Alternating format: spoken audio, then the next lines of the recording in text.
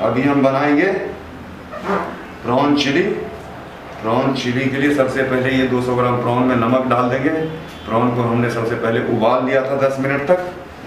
और इसमें डालेंगे अब हम ये रेड चिली सॉस ये रेड चिली सॉस इसके अंदर। और फिर इसके अंदर हम डालेंगे डार्क सोया सॉस ये डार्क सोया सॉस आधी चम्मच। और इसमें हम डालेंगे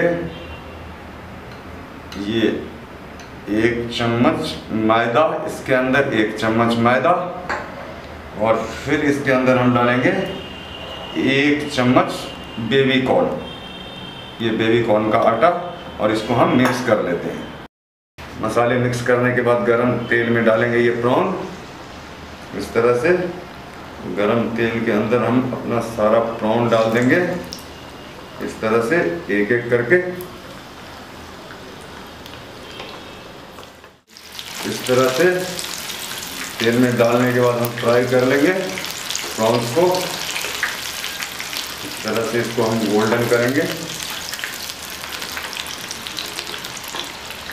इस तरह से प्रॉन को फ्राई कर लेंगे प्रॉन चिली के लिए। इसको दो मिनट, तीन मिनट तक और फ्राई करेंगे।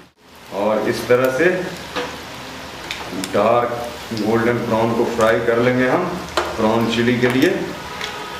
ये डार्क गोल्डन फ्राई हो चुका है हमारा प्रॉन्स इसको हम निकाल लेते हैं एक प्लेट में।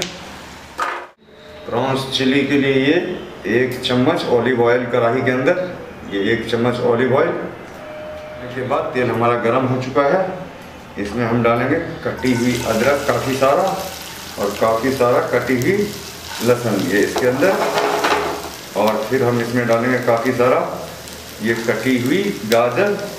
गाजर को हमने छील के छोटे छोटे साइज़ में काट लिया था और इसके बाद एक कटी हुई प्याज इसके अंदर। ये सब हम डाल के इसको मिक्स कर लेंगे। इसको इस तरह से मिक्स कर लेंगे।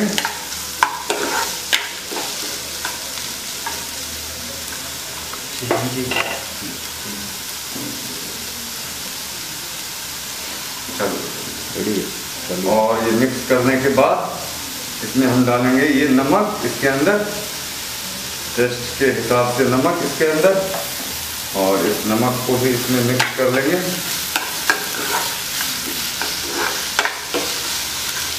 इस तरह से मिक्स कर लेंगे नमक को भी और इसको हम दो मिनट तक फ्राई करेंगे। ज़्यादा फ्राई नहीं करना है हमको।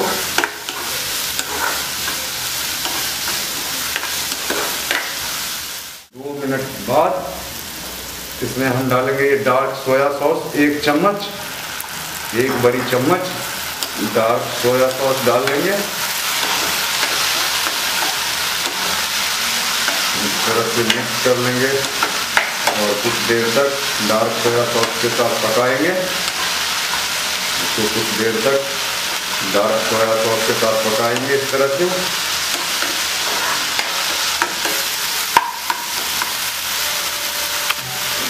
लगभग एक मिनट तक इसको इस तरह से पका लेंगे, चलाते रहेंगे बीच बीच में। और दो मिनट पकाने के बाद इसके अंदर हम डालेंगे तीन चम्मच रेड चिली सॉस। ये रेड चिली सॉस इसके अंदर हम डाल लेंगे तीन चम्मच। और इसको इस तरह से मिक्स कर लेंगे।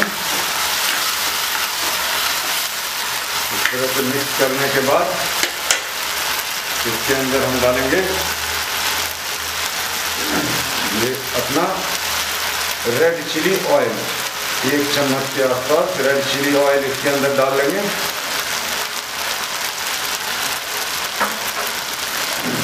और इसको इस तरह से मिक्स कर लेंगे। इस तरह से मिक्स कर लेंगे। अब हम डालेंगे इसमें एक कप पानी। एक कप पानी इसके अंदर डाल देंगे। इसको दो मिनट तक हम उबलने देंगे। इस तरह से दो मिनट तक इसको पकाएँगे। इस तरह से और पकने के बाद इसमें हम डालेंगे स्प्रिंग अनियन ये स्प्रिंग अनियन इसके अंदर काफ़ी सारा। और इसको मिक्स कर लेंगे इस तरह से। इस तरह से मिक्स कर लेंगे। इस तरह से एक मिनट तक पकाएँगे हम इसको। एक मिनट तक इस तरह से पका लेंगे। अब हम इसमें डालेंगे बेबी कॉर्न का एक चम्मच आटा, पानी मिक्स करके इसके अंदर डाल लेंगे। और इसको मिक्स कर लेंगे इस तरह से।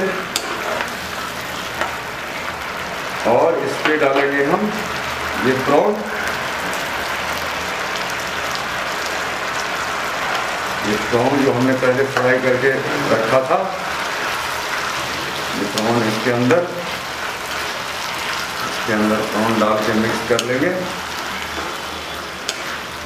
और एक मिनट तक हम इसको पकने देंगे। ये इस तरह से एक मिनट तक इसको पकाएँगे। प्रॉन्स हमारा फ्राई करते टाइम ही पक चुका था। एक मिनट बाद ये प्रॉन चिली हम निकाल लेंगे एक प्लेट में। रेडी है हमारा प्रॉन चिली